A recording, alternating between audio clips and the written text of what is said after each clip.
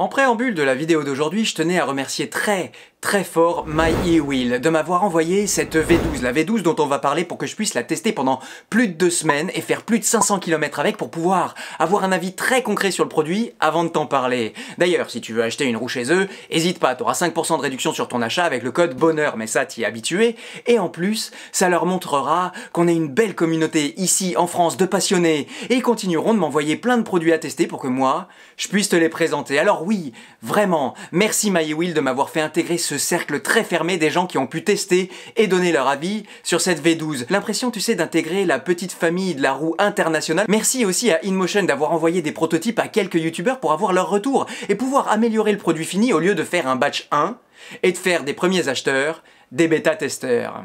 Ensuite, la version courte de la vidéo d'aujourd'hui, c'est que j'ai passé des dizaines d'heures sur la roue et qu'à chaque fois, j'ai filmé mes pensées. Maintenant, tu le sais. Et aujourd'hui, je vais t'en faire un résumé le plus complet, mais aussi le plus condensé possible, pour pas euh, s'éterniser. Enfin, il faut noter que la roue que j'ai essayée, c'est un prototype, je tiens à le répéter, et qu'on sait déjà que pas mal de choses vont être amenées à changer. Maintenant, la version courte de la vidéo d'aujourd'hui, c'est que la review que je vais te proposer, elle va être longue. Oui, mais elle pourrait tenir en deux mots que t'as l'habitude d'entendre sur cette chaîne. Le pied. Mais là, je te promets que ces deux mots sont pas galvaudés. Vraiment, pendant mes deux semaines d'essai, j'ai pris mon pied, un pied ultime et absolu en vérité. Et à chaque sortie, j'avais plus de plaisir qu'à la sortie qui avait précédé. Voilà, maintenant pour la version plus longue et plus détaillée de la vidéo, reste avec moi et c'est parti À toi Alors aujourd'hui, j'ai la chance, le privilège, l'honneur de partager l'affiche avec euh, Mademoiselle. Et oui, parce qu'on en a fait des kilomètres ensemble en deux semaines. Hein. Et en deux semaines, on a appris à se connaître, à se dompter, à s'apprivoiser. Et moi, de mon côté, j'ai appris à, à lui parler pour savoir ce que je pouvais lui demander. Et après, quand on se connaissait, à chaque fois, elle était partante. Après 500 km, je dois dire que cette roue m'a époustouflé. Oui, le mot est fort, mais il est mérité. C'est la glisse la plus proche d'un ride en poudreuse que j'ai pu ressentir en roulant sur la chaussée. Si bien qu'à la fin, je te le dis à toi, même si à elle je l'ai pas encore avoué, ben, je crois que j'étais amoureux malgré les quelques petits défauts dont on va parler. Et on commence par son design. Alors d'un point de vue extérieur, c'est clair, elle fera pas l'unanimité, il faut bien l'avouer, mais bon, les goûts et les couleurs, on sait jamais. Disons qu'elle est un peu euh, massive, un peu cubique. Et comme ses petites sœurs, je trouve qu'il se dégage pas de ce design beaucoup de caractère. Mais attends, c'est pas très joli? Ok. Mais c'est très pratique. Si tu pilotes cette roue sans powerpad, comme moi, tu pourras te pencher en avant, plier les genoux, et à aucun moment ils se retrouveront dans le vide, comme c'est le cas même sur la Sherman. Ici, sauf si tes tibias font 70 cm de long, tu seras toujours en contact avec la roue au moment d'accélérer et de freiner. En situation, ça donne ça. On a un joli cube. On a le pied qui est posé. Quand on veut accélérer, on peut le faire. Pareil que quand on veut freiner. Sur les autres roues, on est là, et assez vite, oh là là Tu vois, comme quoi, euh, on peut pas tout avoir. Oui, la S18, elle était jolie, celle-là, elle est... Euh, elle est moulée pour, euh, pour accélérer, elle est moulée pour être ridée même si on dirait pas comme ça. Alors j'ai pas encore testé à fond ses capacités, hein. pour le moment je suis en mode euh, découverte. En mode euh, bonjour madame, on brise la glace, comment ça va? Et là, euh, bah, c'est bien, mais cela dit, c'est fidèle à InMotion. Hein. ce côté ce côté souple, ce côté accueillant, ouais c'est ça, tu vois, accueillant, pour moi ça colle à l'image. Sauf que là, ils ont ajouté derrière un peu de piment. Design toujours, on a une petite casquette à l'avant, la même à l'arrière. On a aussi cette grille là, façon, euh, tu sais, le masque de Kylo Ren, je crois, dans Star Wars. C'est joli. Il y a aussi les quatre feux du phare qui, tant bien que mal, essayent de lui donner une identité. On retrouve les LED sur les côtés, on a des LED sur l'avant, sur l'arrière. Et alors, à ce niveau-là, on parlait d'un prototype. Pour le moment, ça éclaire clairement pas assez. Euh, en plein jour, on les voit pas mais ça va être amélioré. Ouf, parce que sinon ça servait à rien de les mettre en l'état. Je viens de m'apercevoir d'un truc, tu vois, après 600 km sur la roue, oui, parce que quand j'étais à l'atelier j'avais fait que 500, mais j'ai continué à rouler depuis, là j'en suis à 600. C'est que euh, la casquette, ce que j'appelle la casquette sur le devant, tu vois, et bien en fait ça fait aussi office de bumper pour protéger le phare et la coque avant en cas de chute. J'aime bien moi quand il y a un truc qui fait double emploi. Et puis, et puis, On a une roue IPX5 au niveau du corps, une roue IPX7 au niveau du compartiment batterie. Bref, euh, ça tu sais que c'est l'option qu'il me fallait, l'option dont je rêvais. C'est une roue dont on peut servir toute l'année, peu importe la météo, peu importe le temps qu'il fait. Youpi Pour ce qui est des finitions, alors moi qui roule en bigote, j'ai tendance à l'oublier, mais là, c'est vraiment du bon. Hein. Enfin, il faut dire que bigodet, c'est vraiment du mauvais. Voilà, mais la roue, elle a une belle impression de produit fini qu'on peut mettre entre les pieds de n'importe qui. Le tout est bien construit, vraiment bien fini. À part le capot là, euh, des ports de charge qui est un peu flappy. Euh. Et puis la béquille qui à mon avis vient de la V11 et qui n'a pas été euh, redesignée pour être adaptée à ce modèle là. Mais bon, ça, finalement, alors pour le capot, ça va être amélioré, on le sait, et pour ça, franchement, ça fait son job et moi j'irai pas chipoter. Ensuite, et toujours dans la qualité, suite aux gros problèmes de roulement rencontrés sur les roues au Holo Motor, eh ben InMotion a pris le parti de reculer sur ce point et ce serait difficile de leur reprocher, même si avec les performances annoncées, on espère que le câble moteur aura assez de place pour respirer. Finalement, si j'avais une petite déception, ce serait sur les pédales. Oui, avec un simple grip, cela dit, il est de bonne qualité, mais à l'heure où tout le monde ne jure que par les pédales cloutées, euh, je me dis que ça aurait été... Mais bon, quand tu vois le prix auquel ces pédales sont fendues en séparé, c'est peut-être un peu difficile de les mettre en série sans que le prix final de la roue soit impacté. Eh Wheeler Bon, les Wheeler disent plus bonjour. Alors les messieurs en InMotion, il paraît qu'il y a une blague qui tourne sur les réseaux que euh, les gens qui disent pas bonjour, c'est des gens en InMotion. En l'occurrence, il est en InMotion, le monsieur.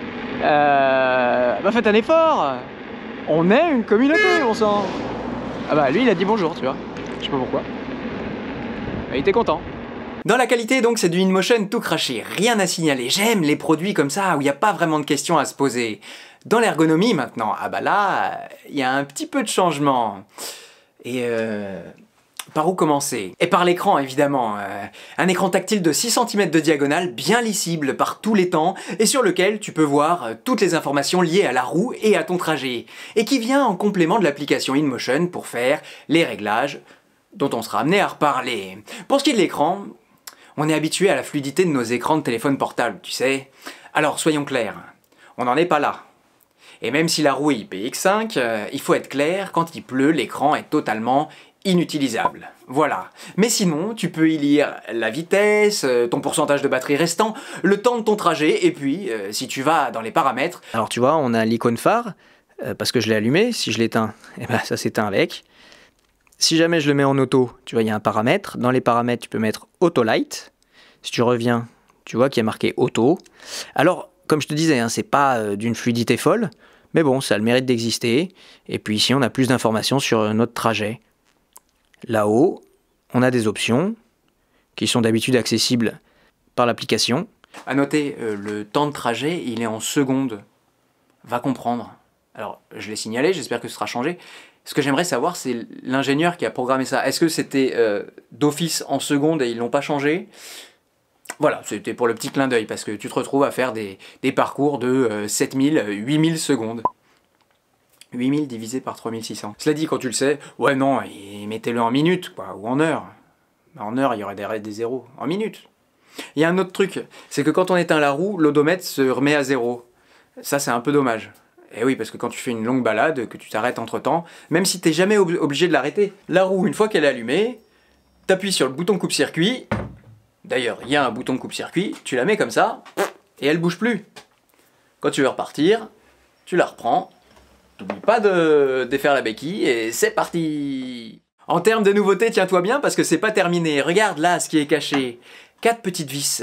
Eh oui, parce qu'on a des supports de pédales qui sont réglables en hauteur avec trois positions. Alors ça paraît pas grand chose comme ça, mais pour les connaisseurs, ça veut dire qu'on peut vraiment ajuster la roue au profil de route qu'on va rencontrer et à la conduite qu'on va vouloir adopter. Trois niveaux de pédales, c'est trois modes de conduite bien particulier. On peut choisir les pédales basses pour être plus proche de la chaussée ou alors les pédales hautes pour hausser le centre de gravité et par exemple en off-road s'assurer que les racines ne vont pas nous heurter.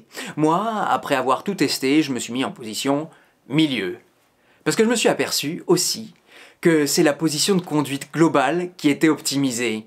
Et oui, tu vois, quand j'étais là-haut, j'ai l'intérieur de mon genou qui vient juste embrasser le contour de la roue. Et comme quand je veux carver, eh ben c'est parfait. J'ai vraiment l'impression que c'est une roue moulée pour moi, quoi. Je sais pas comment t'expliquer. Deux mots. Le pied. Hop Et on va continuer. Cela dit, si je devais trouver un truc à améliorer pour ces supports de pédale, c'est qu'on peut pas les ajuster sans enlever la pédale là. Alors, t'enlèves la pédale, ensuite tu dévisses le support de pédale, c'est juste quatre vis, hein, c'est vraiment euh, pas compliqué. Et après tu remets le tout. Si on pouvait y avoir accès sans avoir à démonter la pédale, ça ferait une étape en moins et pour moi ce serait parfait. Alors continuons d'avancer. Et maintenant, je sais pas si c'est fait exprès pour ce dont je vais te parler, mais on s'est aperçu que les pads là, ils étaient facilement détachables. Eh oui. Facile à déclipser. Est-ce que InMotion nous préparait des pads euh, custom à mettre et à enlever, tu sais? Ils pourraient intégrer des power pads. D'ailleurs, InMotion vend déjà des power pads. Mais voilà, pour les gens qui en veulent, eh ben, il n'y a pas besoin de coller des choses à la roue. Ce serait tellement dans l'air du temps de faire ça que pour moi, ce serait vraiment. Ce serait une preuve, encore une fois, qu'InMotion est à l'écoute des utilisateurs. Bon, par contre, on nous annonce euh, à l'arrivée des pads plus épais. C'est dommage parce que moi, euh, je les aimais bien comme ils étaient. On verra ce que ce sera quand ça sortira. Tu vois, ce qui me plaît dans la démarche de InMotion, là, c'est qu'ils sortent une roue, mais ils veulent pas que ce soit juste une roue de plus. Non, ils se donnent le moyen pour que ça fasse un peu la différence. Et l'année dernière, c'était pareil avec, euh, la, suspension. Ils n'ont pas sorti une roue euh, juste pour sortir une, roue- par an, quoi. Ergonomie toujours, tu te souviens l'époque où les roues avaient pas de trolley, puis ça s'est généralisé? InMotion, c'est la deuxième fois qu'ils nous mettent une béquille. Alors c'est une petite option comme ça, mais à la longue, on a du mal à s'en passer. Pour preuve, quand on retourne sur un modèle qui en a pas, on se dit euh, mince, où est-ce que je vais la poser? Ah bah il faut un mur. Non, vraiment, euh, c'est des options comme ça, je te dis. Au départ, InMotion annonçait quelque chose de phénoménal. Alors moi je me disais waouh, on va voir. euh, on a été habitué, mal habitué l'année dernière avec les suspensions. Au final, il n'y a rien de waouh. Enfin, pour moi, le waouh, il est dans toutes ces choses-là. Et donc maintenant, parlons du trolley. Alors le trolley, tu sais, il y a une gâchette en dessous qui permet de déplier ce trolley scorpion qui vient à 90 degrés. Et pour moi, bah les trolley scorpions, j'aime pas. Sauf que, Bon bah écoute ce trolley, euh, au final on est quand même pas mal content de le trouver. hein. Et alors euh, comme m'a dit mon, mon copain Madpack, quand on prend la roue à l'envers, eh ben, c'est beaucoup plus pratique. Eh oui parce que là je suis arrivé à bout de batterie. Et oui, à 5% elle m'a éjecté. Please get off. Donc voilà. Et là je cours parce que j'ai très froid aux pieds. Voilà. Mais donc tu vois, il fait le job finalement. hein. En ligne droite, je peux courir à côté. Ce que je pense ne pourrais pas faire avec une MSP. Finalement. Tu vois, j'ai même réussi à me réconcilier avec le trolley. C'est dire que cette roue peut tout. et ben d'un coup, euh, il devient pratique ce trolley. Et puis on peut enfiler le casque si on a un intégral. euh, Voilà, tu vois, on peut trouver des défauts partout, on peut aussi trouver des avantages aux défauts pensait. Ergonomie encore, on a un détecteur de luminosité pour l'allumage des phares, avec trois niveaux de luminosité, soit en haut, soit en bas, soit la totale. A noter que celui-là, il sera largement euh, rehaussé, parce que pour le moment, c'est pas la panacée. Pour les défauts maintenant, euh, je t'ai parlé du cache qui était un peu flappy, je t'ai parlé des LED qui allaient être changés, autant sur les côtés à l'avant que à l'arrière, à l'arrière d'autant plus parce que ça fait office de feu de frein, tu vois. Et puis le gros gros, le très gros défaut pour le moment, c'est le port de charge. Eh oui, qui va être changé, ça c'est la bonne nouvelle, et ils vont mettre un équivalent vétéran ou bigodet. Et ça c'est parfait, on pourra monter jusqu'à 5 am- 5 ampères, et puis euh, par contre il y a des rumeurs qui courent sur le fait qu'il y en aurait deux, et ça a priori, euh, non, c'est pas avéré. Ensuite on a un haut-parleur Bluetooth. Voilà, tu vois pour l'ergonomie c'est vraiment une toute option. Ou dis-moi en commentaire euh, ce que tu vois et qu'il n'y aurait pas. Mais moi, je vois pas. Enfin, et pour conclure sur l'ergonomie, il y a clairement une chose que cette roue n'est pas, c'est compact. Oui, c'est vrai que pour mes petits trajets quotidiens, j'étais content de ressortir ma petite MCM5, tu vois. Oui, parce que là, avec ses 29 kilos et son gabarit très imposant, on peut pas dire qu'on ait envie de la prendre pour aller faire son marché. Mais bon, tout ce que je t'ai dit là, c'est rien, absolument rien comparé à ce dont on va parler maintenant. Le plaisir, le bonheur ultime qu'on a, que j'ai eu en tout cas, roulant. Tu vois, je te parlais de sensations proches de celles qu'on ressent au sport d'hiver. Si tu te baisses bien sur les cuisses, tu te mets bien en avant, là, je te jure que... oh mon ami, quel pied Il n'y a pas besoin de remontée mécanique, il n'y a besoin de rien quoi. On a un moteur de 2500 watts qui peut propulser la roue à 70 km/h. On a une batterie de 1750 Wh à 100 volts qui peut nous mener loin si on va doucement ou qui nous procure de la sécurité quand on décide d'accélérer. Vraiment, ce qui marque, c'est la fluidité, la souplesse, le. Je sais pas comment te dire, le coussin d'air. Tu sais, pendant longtemps, je te parlais de la glisse Gotway. Bah là, euh, là, on y est quoi. En termes d'autonomie et empiriquement, je peux te dire que tu peux faire près de 100 km si tu roules doucement et que t'es léger comme moi, ou plutôt 60 km si tu bombardes et que tu veux t'amuser sur terrain privé. Voilà, des chiffres vraiment agréables à observer et qui permettent de tirer pleinement parti de la puissance du moteur sans avoir à tout de suite se limiter.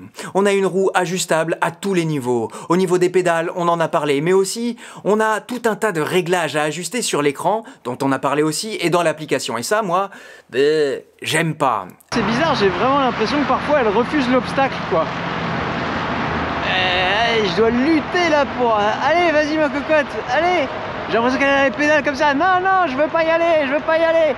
Si, ma cocotte, vas-y, ma cocotte. Ah, je veux pas y aller, C'est comme les voix dans ma tête, elles sont jamais d'accord. Non, je plaisante, ça va, un peu de calme. Hein. Oh, papillon À la fois, bon, je suis pas du genre à aimer tester tous les paramètres pour savoir lequel m'est le plus adapté. À l'inverse, c'est ça qui fait que cette roue peut parler à tout le monde. Bon, il faut s'habituer, évidemment, c'est comme d'habitude. Mais après, vraiment, c'est doux, c'est soft, c'est... C'est vraiment sympa. Mais après, je trouve que ça se gâte parce que ça devient compliqué. Avec tous les paramètres qu'il faut régler, il faut passer par l'application pour... Euh, et là, moi, ils me perdent. Alors c'est un parti pris, hein, c'est un parti auquel moi j'adhère pas. Euh, toi, tu seras peut-être très satisfait d'avoir euh, plein de réglages. Et puis finalement, c'est des réglages mais tu vois, le problème avec les réglages, c'est que tu as toujours l'impression que ça pourrait être mieux. J'avais eu la même sensation avec la avec la S18, enfin avec les roues à suspension, où tu te disais toujours Ah, je suis pas encore optimisé, je suis pas encore optimisé. Et puis je me suis aperçu qu'il y a plein de gens qui roulaient avec des paramètres qu'ils disaient et qui pensaient optimiser, et en fait, euh, vu de l'extérieur, ça l'était pas du tout quoi. Pourtant les pédales sont confort, pourtant le pneu est super confort, le tout est très confort, mais c'est la conduite, c'est l'accélération, le freinage. Alors, tu vas me dire, euh, oui, mais on peut changer tout ça dans l'application, c'est vrai. Mais peut-être qu'il faudrait que ça vienne avec un guide ou avec des, pré-réglages, en effet. Parce que là, je sais pas du tout à quel sein me vouer, en fait.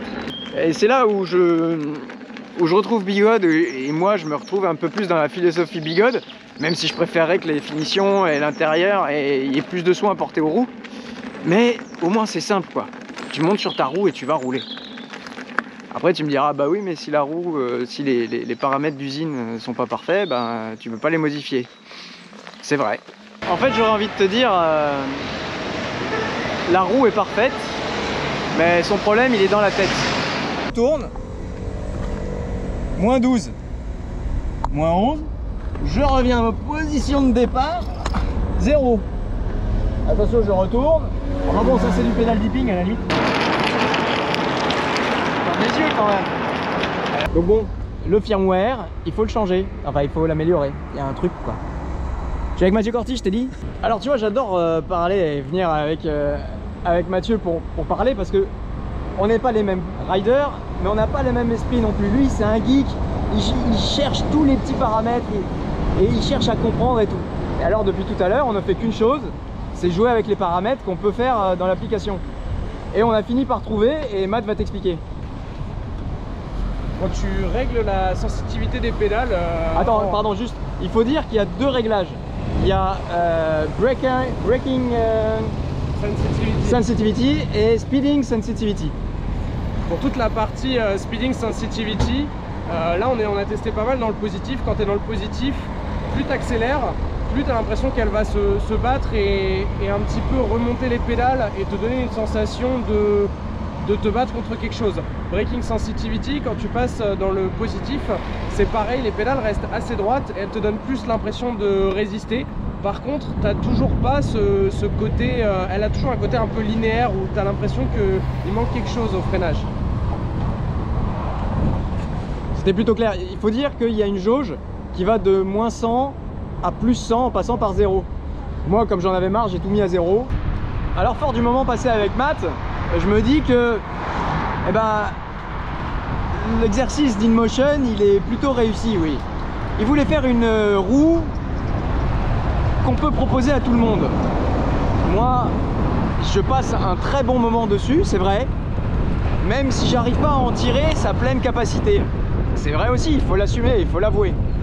Mais quand je parle avec Matt, qui était vraiment très enthousiaste sur la roue, et eh ben je me dis que finalement tous ces réglages là, ils peuvent être justifiés. Encore une fois, il faut le vouloir, il faut avoir envie de, de mettre les mains dans le cambouis, de, de, gérer. C'est pour ça que moi, personnellement, j'ai dit à InMotion que si ils mettent à disposition tous ces réglages là, il faut aussi qu'ils mettent un guide qui les explique. Pareil, tu vois, je suis très très heureux, merci Matt, merci beaucoup. Je suis très heureux d'avoir parlé avec toi, ça m'a ouvert euh, beaucoup les yeux. Et maintenant que j'ai parlé avec Matt, et qui me disait non mais j'aime bien moi ce côté, euh, je peux lui demander, elle pousse de son côté, je pousse du mien. Tu vois, c'est une relation différente qu'il a avec la roue. Moi j'aime bien quand la roue elle fait euh, ce que je lui demande. Et la RS clairement, je lui dis d'avancer, je lui dis d'accélérer, elle accélère. Là, la, V11, alors oui, je rentre un peu dans, la philosophie de la roue, mais, c'est vrai que c'est ça. La V11, la V12, 12, et oui, ça passe trop vite. La V12, elle dit Tu veux jouer? Vas-y, donne-moi. Qu'est-ce que t'as? Vas-y, donne, donne, donne. Et tu dis Tiens, encore, encore. Et elle dit Vas-y, encore, encore, j'en veux encore. Et c'est vrai que quand on commence à penser comme ça, tu dis Vas-y, donne, donne, vas-y, viens, allez, on joue. En fait, t'as l'impression, enfin voilà. C'est pour ça que j'arrête pas de te répéter qu'une roue, bah, il faut la connaître, il faut l'apprivoiser et après on peut s'amuser. Il m'aura fallu, euh, je crois que je suis à 180 km sur cette roue. Jusque... Allez on y va, tiens là faut envoyer, il faut appuyer sur les pointes de pied. Allez go go go go go go go. Wouhou Yeah man! Mollo mollo 25 km h T'as entendu biper à 25 ah mais tu prêtes pas l'oreille aussi. Bah voilà. Non la vérité c'est que j'encourage quand même les gens à rouler doucement. Hein. Un obstacle est vite arrivé l'autre jour Il y a un enfant qui débarque J'ai vu sa vie à lui défiler quoi Donc euh, bah écoute moi c'est peut-être parce que j'ai des gosses Je me suis ramolli du cerveau Mais qu'est-ce que tu veux? Chacun prend son pied à sa façon hein. On en parlait il n'y a pas si longtemps que ça et encore une fois, avec cette roue-là, tu peux faire les deux à la fois. Bref, on en reparlera quand on aura un modèle du firmware définitif sous les pieds, mais vraiment, au début, moi, j'ai pas aimé cette sensation de rouler assisté. Et puis, il faut bien avouer qu'une fois que les réglages ont été trouvés, je me suis régalé. Tu remarqueras aussi que moi, bah, je roule sans powerpad. Alors, pour les roues comme ça, certains pourraient dire que ça commence à devenir obligé, mais en vérité, bah moi, ça m'a pas manqué. Quand on veut accélérer, chacun sa méthode, mais il faut se lancer. Et la route met en confiance. Au départ, elle semble un peu résister, comme pour être sûr que c'est vraiment ça que tu veux. Et puis une fois partie, elle t'emmène où tu veux, comme tu veux, et tu prends ton pied. Oui, j'arrête pas de me répéter, mais je veux vraiment de transmettre l'enthousiasme que j'ai eu en roulant. On a une roue avec un pneu de 16 pouces par 3 d'une grande fluidité, avec une glisse d'une douceur inégalée, le tout dans un silence religieux. Je sais pas comment te dire. On peut rouler vite, on peut carver. Je te promets que je me suis jamais senti aussi proche des pistes de ski depuis que je fais de la roue électrique, même avec la glisse Gotway. Vraiment, au départ c'était un peu chaotique, avec tous ces réglages dont je t'ai parlé. Je trouve parfois, en vérité, qu'InMotion met un peu trop d'intelligence dans ses objets, mais à la fin, il faut bien avouer, on a une roue de 16 pouces qui ferait pâlir de jalousie les roues de 18 pouces. Dans son comportement, dans sa versatilité, elle est stable à vive allure, elle est maniable, elle a tout Vraiment Je surjoue pas mon enthousiasme, je te promets Et encore une fois, j'étais loin d'imaginer que je te dirais tout ça avec autant d'enthousiasme après les quelques premiers kilomètres que j'ai eu à me battre avec l'algorithme qui me semblait faire un peu n'importe quoi. Ah si, une chose devrait être selon moi un peu améliorée, la sensation au freinage. On n'a pas cette sensation justement que la roue a compris ce qu'on voulait faire et qu'elle est prête à nous aider. À voir si ce sera amélioré. Avant de conclure, je voudrais comparer cette V12 à ce qui se fait un peu sur le marché, sachant qu'il y a une donnée qu'on n'a pas. C'est son prix. Un prix qui peut tout faire basculer. Oui, InMotion, là, peut avoir deux stratégies. Soit se dire, bon, écoutez, les enfants, maintenant, ce qu'on veut, nous, c'est tuer le marché. Et ils mettent un prix bas. De l'autre côté, ils peuvent se dire, attendez, nous, on propose un produit premium. Et alors là, ils mettent le paquet. On verra. Mais en tout cas, à prix équivalent, on dira, la Nicolas, pour moi, hein, c'est vraiment compliqué de rivaliser. Elle a certes une super batterie, mais un moteur un peu en retrait, et surtout, c'est une roue impossible à piloter si on n'est pas un très grand gabarit. Et pour ce qui est de la 16X, tu sais combien j'ai aimé cette roue, moi, la 16X, mais vraiment, on peut plus les comparer selon moi. Clairement, la V12 envoie la 16X se rhabiller. Et la MSP Pareil, moi je l'aime beaucoup la MSP, mais sur les finitions, sur toutes les options, ça devient compliqué de rivaliser. Bref, on attend le prix maintenant pour juger. Mais en l'état, InMotion a la possibilité de faire taire une grosse partie de la concurrence. Bigodet, trop en retard sur les finitions. Kingsong, trop en retard sur les performances. Il y a bien que vétéran aujourd'hui pour pouvoir jouer. Avec cette V12, InMotion frappe très très fort à mon goût. On a une roue qui peut tout faire et qui se dessine à tout le monde. On peut rouler vite, on peut rouler loin, on peut rouler en ville, on peut rouler sur les sentiers ou en forêt. InMotion voulait toucher tout le monde. Et pour moi, à ce jeu-là, ils ont gagné. Et pour ceux qui se demandent pourquoi la suspension a disparu, bah moi je trouve que InMotion a une vraie proposition, une vraie stratégie dans sa gamme de produits. Ils ont déjà une rouleuse de 18 pouces avec une suspension ici, ils voulaient proposer une sportive pour compléter. Cette V12, elle n'a pas vocation à remplacer la V11 en aucun cas. Et je trouve ça super de proposer une nouvelle roue avec une nouvelle façon de penser et une nouvelle façon de rider. Maintenant, la question que je me pose, moi, c'est est-ce que, dans la tête de ceux qui veulent des roues sportives et endurantes, il y aura le déclic pour se dire qu'ils vont passer chez InMotion, qui jusque-là était vraiment limité. Mais en tout cas, le tournant est clairement engagé. Bigodet a laissé la porte ouverte et la compétition, c'est engouffré. Bravo InMotion, il faut bien l'avouer. Encore merci maintenant My e-Wheel. My e-Wheel dont on reparlera bientôt sûrement avec déjà des roues qui ont pris ma direction. D'ailleurs, pour voir toutes les prochaines vidéos, tu peux penser à t'abonner si ce que je fais te plaît. D'ici là, tu peux aussi liker et partager cette vidéo pour la faire exister sur les réseaux.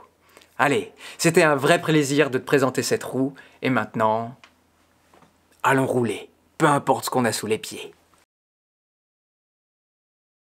Postscriptum. Un postscriptum, euh, vraiment, je crois que j'ai suffisamment parlé pour la journée. Oui, vraiment, je crois que j'ai pas grand chose à ajouter. Enfin, si, quand même. J'aimerais remercier tous ceux avec qui j'ai roulé avec cette roue. Je pense principalement à Mathieu Corti, qui m'a libéré de ses paramètres à régler. Lui, qui est un geek et un rouleur haute vitesse, il m'a donné confiance en la roue quand je l'ai vu rouler. Et ensemble, on a passé un temps fou à tester les paramètres, un par un, pour trouver les plus adaptés. Merci aussi aux Wheeler Pro qui m'ont organisé une randonnée sur mesure pour aller rouler. Merci à Kevin Lam, oui, qui m'a fait découvrir l'existence d'une chose que je ne comprenais pas. Le Soundwave. Oui, InMotion nous a mis une option pour rendre bruyante sa roue. Quoi? Oui je t'ai dit qu'elle était silencieuse à souhait. Bah si tu roules parmi les passants, tu peux vouloir un peu de son pour t'annoncer.